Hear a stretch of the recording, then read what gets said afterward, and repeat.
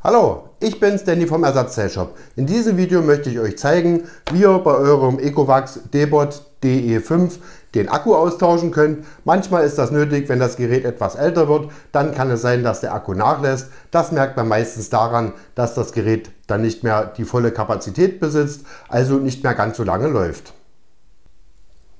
Wenn ihr nun den Akku austauschen wollt, öffnet zuerst äh, eure Abdeckung, schaltet das Gerät aus oder vielmehr stellt sicher, dass das Gerät auch ausgeschalten ist. Danach dreht ihr euren Staubsauger herum, entfernt am besten zuerst diese beiden Bürsten. Dazu nehmt ihr einen Schraubendreher, hebelt etwas unter die Bürste und danach kann man die abnehmen. Diese Bürsten legt ihr euch zur Seite.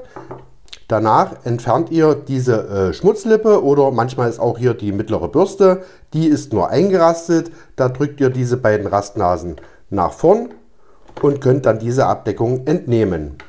Nun nehmen wir einen Kreuzschlitzschraubendreher und lösen noch diese beiden Schrauben. Achtet bitte bei den kleinen Schrauben darauf, dass die nicht verloren gehen. Habt ihr diese beiden Schrauben gelöst, könnt ihr diese Abdeckung etwas nach oben klappen. Manchmal ist es da sinnvoll, dass man hier mit einem Schlitzschraubendreher etwas herunterhebelt, gerade wenn das Gerät schon ein paar Tage älter ist und dann kann man diese Abdeckung entfernen. Die ist an den Ladekontakten mit diesen beiden Nasen untergeschoben und hält dadurch. Und wenn wir die Abdeckung entfernt haben, sehen wir hier schon den Akkublock. Den könnt ihr dann nach oben herausnehmen. Wenn ihr den Akkublock herausgenommen habt, seht ihr hier unten den Steckkontakt. Den könnt ihr dann einfach vorsichtig nach oben wegziehen und der Akku ist entfernt. Und in umgekehrter Reihenfolge baut ihr dann den neuen Akku ein. Zuerst den Steckkontakt wieder aufstecken. Den setzt ihr am besten etwas auf und drückt ihn dann mit einem Stützschraubendreher in den Kontakt hinein. Achtet aber bitte darauf, dass ihr dabei die Kabel nicht beschädigt. Ist das eingesetzt, dann legt ihr euch die Kabel hier etwas in die Seite, in die Aussparung hinein, damit ihr ein, keinen Kabelbruch verursacht. Dann setzt ihr den Akku ein und schiebt ihn nach unten.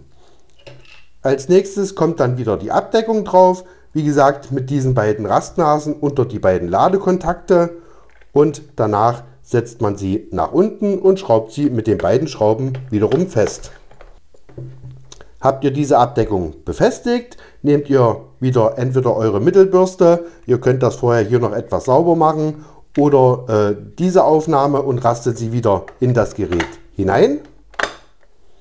Und zu guter Letzt kommen dann einfach wieder die seitlichen Bürsten drauf. Auch die werden nur eingerastet, sodass man ein Klicken hört. Wenn wir euch mit diesem Video helfen konnten, würde es uns freuen, wenn ihr unseren Kanal abonniert, diesem Video einen Daumen nach oben gebt und uns bleibt nur noch zu sagen, ran ans Werk.